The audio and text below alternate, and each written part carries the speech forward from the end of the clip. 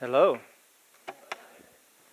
Gosh, when I was backstage warming up, thinking about what I was going to say when I came out here, what inspires a song really is you folks right now. The energy in this house and the energy from our speakers today just been phenomenal. So I was back backstage and all these songs were coming out, like these new melodies. I was like, oh my God, I need to stay back there and turn on a tape recorder. Um, but and I'm, I'll spare you the what they would sound like without practice. um, so this first song I'm going to play was actually inspired by a trip that uh, I took with, um, along with my wife and her sister Cindy and her mom to Africa. And uh, when I came back, I was picked up my ukulele, ukulele, pardon me, and was and a song came out. And as I was playing the song, it wasn't like I was thinking, "Oh, Africa trip, I'm inspired. I'll play a song." This this melody came out, and then all of a sudden, the images from this particular day that we spent in Africa. Um, came. And during that day, we, were, uh, we had a vehicle that we would drive around in uh, with a guide, and, um, and everyone was taking pictures except for me. I didn't have a camera. Um, I evidently take pictures in my head instead of with the camera.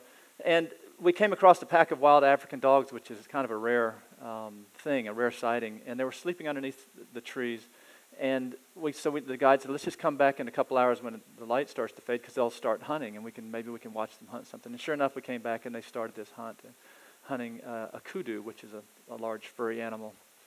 And fortunately for the kudu, it got away by um, jumping into a pond. And it was kind of cool because these animals, they hunt by something running. If you don't run, you have a better chance of survival for this particular uh, animal. And so the kudu jumped into a pond and just stood there, and the other dog stood up on this bank and kind of watched as one other dog went around and tried to entice him to run, and, and it wouldn't. So their hunt was over, so they went off. So my song is basically the soundtrack in my mind of that day, and it's called Out on the Kalahari.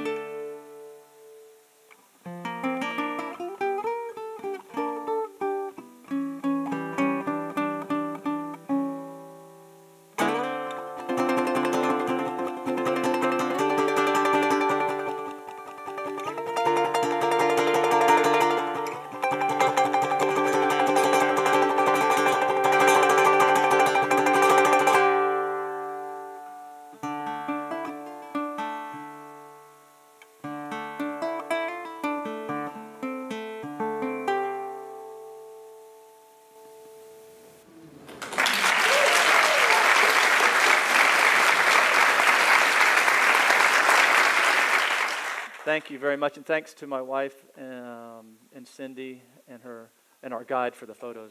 I should have said that earlier.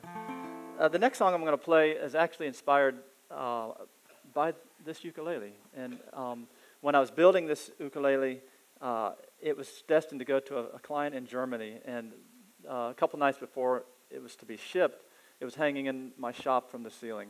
And we had a storm that night, and the roof leaked. Um, long story short, it, the water ran down the neck and into this little side sound hole here and filled it with water.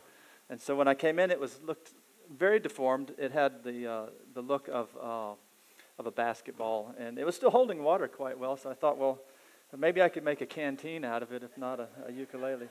Uh, anyway, I hung it in the corner and thought, well, that's too bad, a little bit hopeless. And um, but actually, a couple months later, I went back to, and my shop's climate controlled, so it was very dry in there, and uh, it dried out, and it, it, had some problems, and I fixed them, and, and, and it was designed to be a steel string.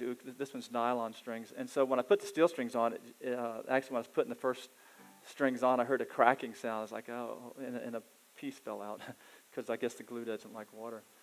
Uh, and I ended up making it into a nylon strung ukulele, and um, and which kind of gave me hope. And so this is the name of this song is called Hope. From